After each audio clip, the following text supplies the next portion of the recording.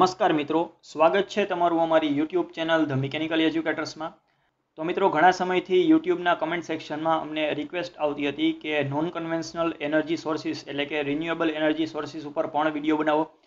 તો મિત્રો, આજનો આ વીડિયો છે તે તમારી જ રિક્વેસ્ટ ઉપર રિન્યુએબલ એનર્જી સોર્સિસ ઉપર છે, જેમાં આપણે સોલાર એનર્જી કે એક ખૂબ જ મહત્વપૂર્ણનો રિન્યુએબલ એનર્જી સોર્સ છે તેના વિશે ડિસ્કશન કરવાના છીએ. તો આવો આજના વીડિયો લેક્ચરમાં સોલાર એનર્જી વિશે ડિસ્કશન કરીએ. પણ મિત્રો, મારી એવી રિક્વેસ્ટ છે કે આ વીડિયો જે છે તે તમે સંપૂર્ણ રીતે જોજો, કારણ કે આમાં ઘણા બધા એવા ટોપિક છે કે જે મોસ્ટ આઈએમપી કહી શકાય અને તેમાંથી તમારે ઘણું બધું તમે નોટ ડાઉન કરી શકશો તમારી નોટબુકમાં તો ખાસ આ વીડિયો સંપૂર્ણ રીતે જુઓ અને ધ્યાનપૂર્વક જુઓ. તો આવો આજનો વીડિયો લેક્ચર સ્ટાર્ટ કરીએ. આજના વીડિયો લેક્ચરમાં ફર્સ્ટ આપણે સોલાર એનર્જી વિશે ડિસ્કશન કરીશું. તો હું તમને થોડું ઘણું સોલાર એનર્જી વિશે ઇન્ટ્રોડક્શન આપી દઉં. The sun is a star in space, which will provide energy for another 4 billion year. તો મિત્રો સોલાર એનર્જી ઉપર આપણે શું કામે વધારે ને વધારે ભાર મૂકવો જોઈએ? કારણ કે સોલાર એનર્જી એટલે કે સન હજી આપણને ફોર બિલિયન યર સુધી જે છે, તે ફ્રીમાં એનર્જી આપતું રહેશે. તો મિત્રો, આ જે સન છે, તેનો જે મેઇન સોર્સ ઓફ એનર્જી છે, તે ન્યુક્લિયર ફ્યુઝન પ્રોસેસ છે. જનરલી તમને બધાને ખબર ન હોય તો હું તમને જણાવી દઉં કે સોલાર એનર્જી જે છે, તે ન્યુક્લિયર ફ્યુઝન પ્રોસેસ દ્વારા જનરેટ થાય છે. અને ન્યુક્લિયર ફ્યુઝન પ્રોસેસ તે હાઈ ટેમ્પરેચર અને હાઈ પ્રેશર ઉપર જે છે, તે હિલિયમ બનાવે છે. કોના દ્વારા? તો કે હાઇડ્રોજનના અણુઓ જ્યારે ભેગા થઈને હિલિયમ બનાવે છે ન્યુક્લિયર ફ્યુઝન પ્રોસેસ દ્વારા, ત્યારે તમને એનોર્મસ અમાઉન્ટમાં એનર્જી જોવા મળે છે અને આ એનર્જીને સોલાર એનર્જી તરીકે ઓળખાય છે. તો મિત્રો, સોલાર એનર્જી પૃથ્વી ઉપર જનજીવન ટકાવવા માટે શું કામે ઉપયોગી છે તે પણ એકવાર સમજી લેવું પડે. તો અહીંયા તમને મેં ત્રણ પોઈન્ટ દર્શાવેલા છે જેના દ્વારા અર્થ પરનું જે છે તે લાઈફ પોસિબલ બને છે. તો ફર્સ્ટ જે છે તે છે circulation of global air masses હવે મિત્રો આપણને ખબર છે કે પૃથ્વીને જે છે તે તમે બે ભાગમાં વહેંચી શકો છો. બે ભાગમાં ઇન ધ સેન્સ કે બે ટ્રોપિકલ રિજિયન્સમાં એટલે કે નોર્થ પોલ અને સાઉથ પોલ અને ઇક્વેટર લાઇન હવે મિત્રો તમને ખબર છે કે ઇક્વેટર લાઇન છે તેમાં ડાયરેક્ટલી જે છે તે સૂર્યપ્રકાશ પડતો હોય છે. એટલે કે ત્યાં ટેમ્પરેચર હાઈ હોય છે. જેવા કે તમને રિજિયન કહું તો એશિયાના જેટલા બી કન્ટ્રી છે, તો તેમાં ટેમ્પરેચર હંમેશા હાઈ રહેતું હોય છે. જેમ કે ઇન્ડિયા છે પાકિસ્તાન છે બાંગ્લાદેશ છે, એ બધામાં શું હોય છે કે ટેમ્પરેચર તમે જોયું હોય તો સમરમાં ખૂબ જ હાઈ રહેતું હોય છે. તેના કારણે શું થાય છે કે ત્યાંની જે એર ક્વોલિટી છે, તેની ડેન્સિટી શું હોય છે? લો હોય છે. પરંતુ તેને તમે કમ્પેર કરશો નોર્થ પોલ અને સાઉથ પોલની જે એર ક્વોલિટી એટલે કે એરની જે ડેન્સિટી છે, તે હાઈ હોવાના કારણે શું થશે? કે ડેન્સિટી હાઈ હોવાના કારણે પ્રેશર ત્યાં કેવું હશે? વધારે હશે. તો પ્રેશર હાઈ ટુ લો તરફ જે છે તે મૂવ કરવાની કોશિશ કરશે. તેના કારણે તમને નોર્થ પોલથી ઇક્વેટર તરફ અને સાઉથ પોલથી ઇક્વેટર તરફ જે છે તે ગ્લોબલ એર સર્ક્યુલેશન જોવા મળશે. તો આમાં સોલાર એનર્જીનો ખૂબ જ મહત્વપૂર્ણ ભાગ ભજવે છે. ત્યારબાદ આપણે સેકન્ડ પોઈન્ટ રીડ કરીએ હાઇડ્રોલોજીકલ સાયકલ હાઇડ્રોલોજીકલ સાયકલ એટલે શું? તો કે પૃથ્વી પરની જે પાણીની જરૂરિયાત છે. પાણીની જરૂરિયાત ઇન ધ સેન્સ કે જે સમુદ્રનું પાણી છે, તે બાષ્પીભવન થઈને વાદળા બને છે. વાદળા બનીને તે ફરીથી જે છે, તે તમને રેઇનના સ્વરૂપમાં પાણી મળે છે. તો આ જે હાઇડ્રોલોજીકલ સાયકલ છે, તે પણ આપણે સોલાર એનર્જીને જ આભારી છે. ત્યારબાદ નેક્સ્ટ વાત કરીએ ઓશિયન કરન્ટ્સની ઓશિયન કરન્ટ્સ એટલે સમુદ્રમાં આવતી લહેરો, મોજા અને સુનામીઓ. તેનું પણ જવાબદાર પરિબળ છે સોલાર એનર્જી તો મિત્રો, આવા ઘણા બધા પેરામીટર્સ છે કે આપણે સોલાર એનર્જી ઉપર ડિપેન્ડન્ટ છીએ આપણું જનજીવન ટકાવવા માટે. તો હવે આપણે થોડીક કેરેક્ટરિસ્ટિક ઓફ સન વિશે પણ વાત કરી લઈએ કે સનની શું કેરેક્ટરિસ્ટિક છે, તેના શું ડિમેન્શન્સ છે. તો ફર્સ્ટ ઓફ ઓલ સનનો જે ડાયામીટર છે તે છે one point three nine into ten raise to nine metre જેટલો તેનો ડાયામીટર છે. ત્યારબાદ તેનું mass two into ten raise to thirty KG જેટલું તે માસ ધરાવે છે. તેની એવરેજ ડેન્સિટી જો આપણે કેલ્ક્યુલેટ કરીએ, તો તે one point four one gram per centimetre cube જેટલી છે. અને તેનું એવરેજ સરફેસ ટેમ્પરેચર જો આપણે લઈએ, તો તે five seven six two kelvin જેટલું તમને જોવા મળે છે. હવે મિત્રો રાઇટ હેન્ડ સાઈડમાં જે તમને ફિગર દર્શાવેલી છે, તેમાં તમે જોઈ શકો છો કે મેં સનનું જે ડિટેલ સ્ટ્રક્ચર દર્શાવેલું છે, જેમાં તમને ઘણા બધા લેયર્સ જોવા મળશે. જેમ કે ટેમ્પરેચર મિનિમમ લેયર ક્યાં હશે, તો કે ફોટોસ્ફિયરમાં ટેમ્પરેચર જે છે, તે મિનિમમ હશે. ક્રોમોસ્ફિયર પછી ટ્રાન્ઝિશન રિજિયન ત્યારબાદ ગ્રેન્યુઅલ ત્યારબાદ સનસ્પોટ અને આવા કેટલા ઘણા બધા રિજિયન જે છે તે સન નામે દર્શાવેલા છે. હવે મિત્રો, અહીંયા જો આપણે આ સનનું ડિટેલ સ્ટ્રક્ચર સ્ટડી કરવાની ટ્રાય કરશું, તો આ વીડિયો લેક્ચર ઘણો બધો લાંબો થઈ જશે. તો મિત્રો, જો તમારી એવી ઈચ્છા હોય કે હું આના ઉપર સ્પેશિયલ એક ડેડિકેટેડ વીડિયો બનાવું મીન્સ કે સનનું જે સ્ટ્રક્ચર છે તે તમારે ડેડિકેટેડલી સમજવું હોય તો તેના ઉપર પણ હું વીડિયો બનાવીશ. જો તમે કમેન્ટ સેક્શનમાં અમને જણાવશો તો. તો મિત્રો સોલાર એનર્જી વિશે ટૂંકમાં માહિતી મેળવ્યા બાદ હવે નેક્સ્ટ આપણે વાત કરીશું ઇન્ડિયન સોલાર એનર્જી સિનારીઓ હવે મિત્રો, આપણે અહીંયા ઇન્ડિયાની વાત કરવાના છીએ કે સોલાર એનર્જી સિનારીઓમાં ઇન્ડિયાની શું પ્રોગ્રેસ છે? Renewable energy in TPES two zero six point five million ton of oil equivalent. It means MTOE 23.4 percentage of TPES એમાં જે ઇન્ટરનેશનલ એનર્જી એજન્સીનો જે ટોટલ એસ્ટિમેશન છે, તે છે નાઇન પોઈન્ટ નાઇન પર્સન્ટેજ હવે મિત્રો આ સેન્ટેન્સ હું તમને થોડુંક સિમ્પ્લિફાઈ કરીને સમજાવું તો તમને કહી દઉં કે ટીપીઈએસ એટલે તેનું ફૂલ ફોર્મ થશે ટોટલ પ્રાઇમરી એનર્જી સોર્સિસ હવે ટોટલ પ્રાઇમરી જે એનર્જી સોર્સિસ છે, તેમાં કોલનો પણ સમાવેશ થાય છે ઓઇલનો પણ સમાવેશ થાય છે hydrological power plants nuclear power plants બધાનો સમાવેશ થાય છે. તેમાંથી રિન્યુએબલ એનર્જી સોર્સનો જે ભાગ છે, તે છે two zero six point five million ton of oil equivalent અને તે તમે ટોટલ ટીપીએસના કેલ્ક્યુલેશન કરવા જાઓ ટકાવારી પ્રમાણે, તો તે થશે twenty three point four percentage અને આઈઈએ જે એસ્ટિમેશન આપેલું છે તે છે અરાઉન્ડ ટેન પર્સન્ટ જેટલું આઈઈએ એટલે કે ઇન્ટરનેશનલ એનર્જી એજન્સી દ્વારા જે આ એસ્ટિમેશન અપાયેલું છે. ત્યારબાદ આપણે નેક્સ્ટ પોઈન્ટ વાત કરીએ રિન્યુએબલ ઇલેક્ટ્રિસિટી હવે મિત્રો આ વાત હતી રિન્યુએબલ એનર્જીની તેમાં પર્ટિક્યુલરલી આપણે વાત કરીએ રિન્યુએબલ ઇલેક્ટ્રિસિટીની તો તે કેટલી જનરેટ થાય છે? Two sixty three point five tera watt hour મિત્રો આ જે છે તેનું ફૂલ ફોર્મ થશે ટેરા વોટ અવર તે જે છે તે seventeen point two percentage of electricity generation એટલે કે ટોટલ જે અત્યારે ઇલેક્ટ્રિસિટી જનરેટ થઈ રહી છે, તેના સેવન્ટીન પોઈન્ટ ટુ પર્સન્ટેજ જેટલી ઇલેક્ટ્રિસિટી આપણે રિન્યુએબલ એનર્જી સોર્સિસમાંથી કલેક્ટ કરીએ છીએ. અને આઈઈએ દ્વારા જે ટોટલ કાઢવામાં આવેલો હતો તે હતો twenty four point six percentage જેટલો. તો હવે મિત્રો પર્ટિક્યુલરલી જો આપણે સોલાર એનર્જીની વાત કરીએ તો સોલાર એનર્જીમાં તમે જોઈ શકો છો કે three point one million ton of oil equivalent એટલે માત્ર ને માત્ર પોઈન્ટ ફોર પર્સન્ટેજ જેટલી જ આપણે એનર્જી સોલાર એનર્જીમાંથી એક્સટ્રેક્ટ કરીએ છીએ. તો મિત્રો અહીંયા ખાસ વિચારવા જેવી બાબત છે કે આપણી પાસે ઘણી બધી સોલાર એનર્જી અવેલેબલ હોવા છતાં પણ આપણે માત્ર ને માત્ર પોઈન્ટ ફોર પર્સન્ટેજ જેટલી તેની એનર્જી જે છે તે ટોટલ પ્રાઇમરી એનર્જી સોર્સના કમ્પેરિઝનમાં યુટિલાઇઝ કરી શકીએ છીએ. અને જો તમને જનરેશન બતાવું તો તે છે twenty six tera watt hour તે માત્ર ને માત્ર વન પોઈન્ટ સેવન પર્સન્ટેજ જે છે તે ઇલેક્ટ્રિસિટી જનરેશનના છે. એટલે કે માત્ર આપણે વન પોઈન્ટ સેવન પર્સન્ટેજ જેટલી જ ઇલેક્ટ્રિસિટી જનરેશન સોલારમાંથી કરીએ છીએ.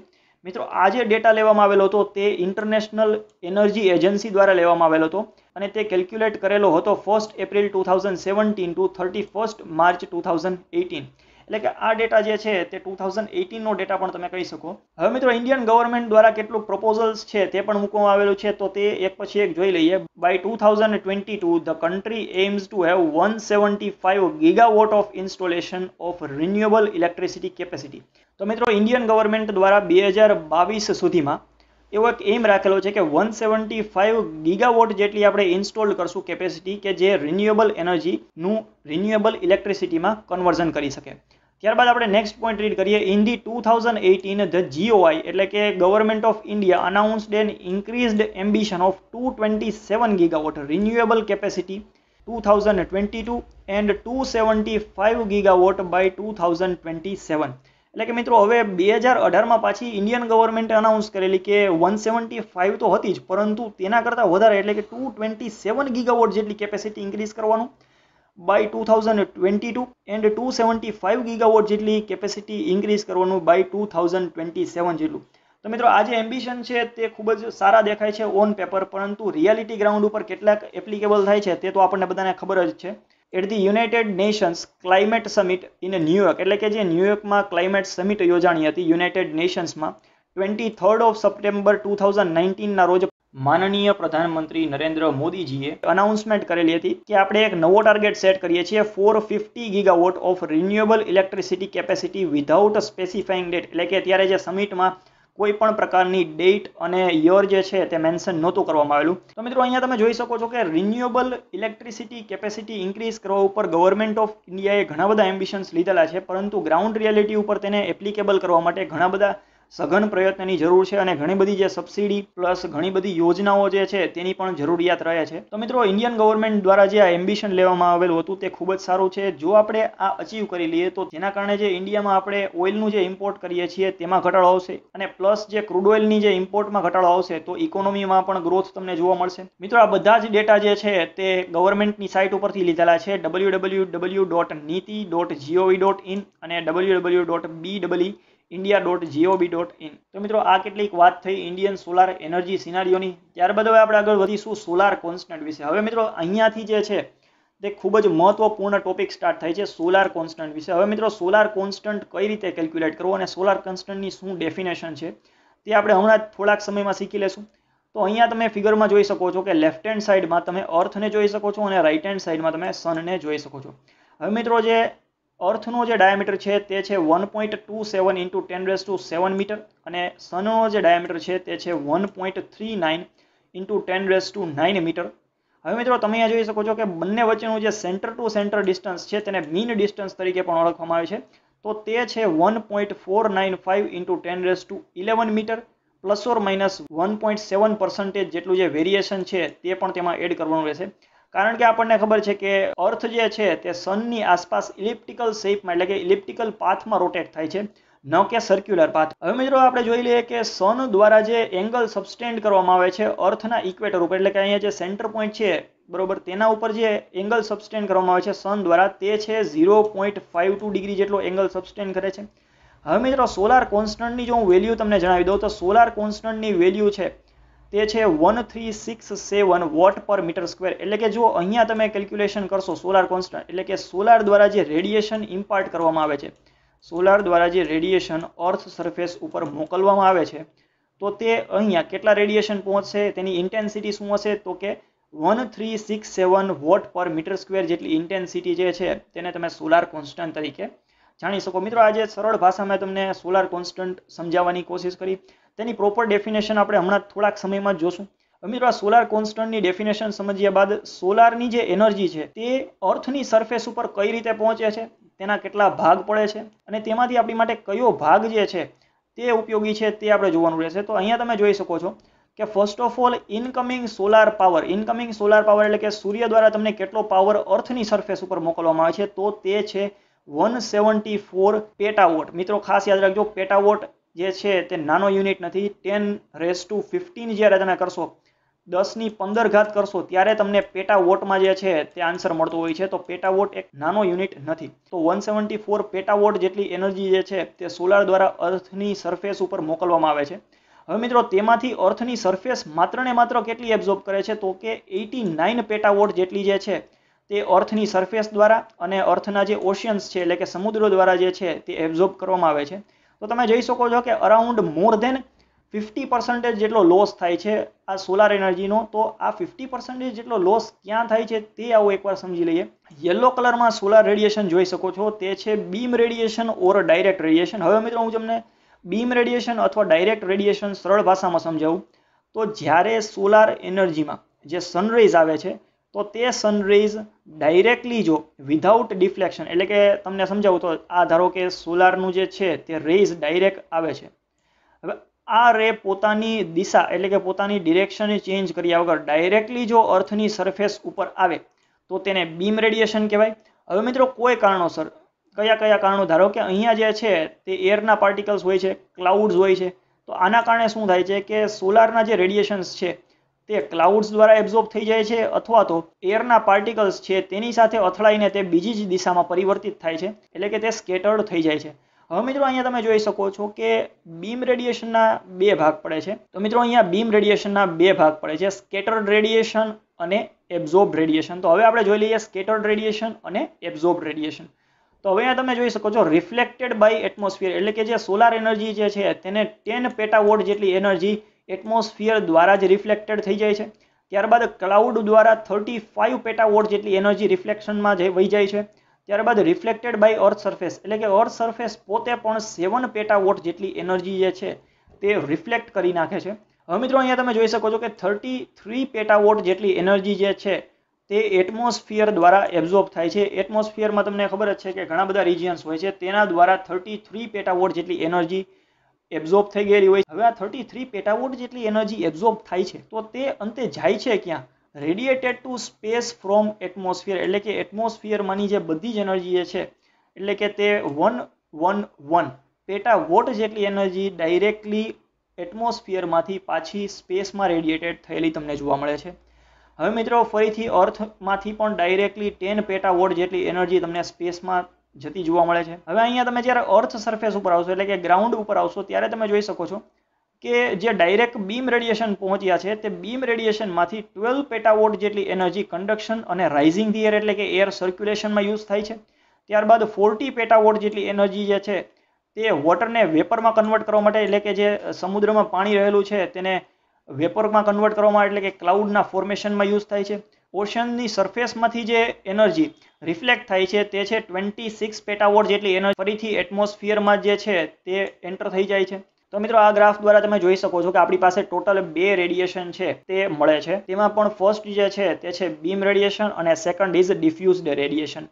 પરંતુ અહીંયા હવે બંનેનો જો સરવાળો કરવામાં આવે, એટલે કે બીમ રેડિયેશન અને ડિફ્યુઝડ રેડિયેશનનો જો સમેશન કરવામાં આવે તો આપણને ગ્લોબલ રેડિયેશન મળે છે. એટલે કે જનરલી જે રેડિયેશન છે તેને ગ્લોબલ રેડિયેશનમાં મેઝર કરવામાં આવે છે. અને આપણે આગળ વાત પણ કરશું કે ગ્લોબલ રેડિયેશન છે તે એક્સ્ટ્રા ટેરેસ્ટેરિયલ રેડિયેશન કરતાં સુકામાં ઉપયોગી છે. હવે આપણે નેક્સ્ટ વાત કરીશું સોલાર કોન્સ્ટન્ટ રિલેટેડ ફરીથી કેટલીક ડેફિનેશન્સ છે તે પણ રીડ કરીશું અને સોલાર કોન્સ્ટન્ટ છે શું તેના વિશે વાત કરવાના છીએ. The amount of solar energy per unit time received on the unit surface area at the top of the atmosphere perpendicular to the radiation direction at the mean distance between the earth and sun is known as a solar constant તો મિત્રો, જો હું તમને આ definition સરળ ભાષામાં સમજાવું, તો આપણે એક પ્રીવિયસ સ્લાઇડ જે છે તે લઈ લઈએ. હવે મિત્રો સોલાર રેડિયેશન ધારો કે આ ડિરેક્શનમાં આવે છે. અને ડાયરેક્ટલી જે છે તે અર્થની સરફેસ ઉપર ઇમ્પાર્ટ થાય છે. હવે મિત્રો પર યુનિટ ટાઈમમાં આ જે સોલાર રેડિયેશન છે તે કેટલી અમાઉન્ટમાં એન્ટર થાય છે એટમોસ્ફિયરમાં પરપેન્ડિક્યુલર ટુ ધી એટમોસ્ફિયર. એટલે કે એટમોસ્ફિયરની અહીંયા જો તમે લાઈન લ્યો, તો તેને પરપેન્ડિક્યુલર કેટલું solar radiation per unit area, per unit time enter થાય છે તેને સોલાર કોન્સ્ટન્ટ કહેવામાં આવે છે અને તેની વેલ્યુ કેટલી છે? One three six seven watt per metre. જ્યારે સન અને અર્થ વચ્ચે mean distance one point four nine five into ten raise to eleven metre હોય છે ત્યારે આપણને આટલી એનર્જી ઇમ્પાર્ટ થતી જોવા મળે છે. તો મિત્રો, હું આશા રાખું છું કે સોલાર કોન્સ્ટન્ટ વિશે હવે તમને સંપૂર્ણ માહિતી મળી ગઈ હશે. ત્યારબાદ આપણે નેક્સ્ટ પોઈન્ટ રીડ કરીએ.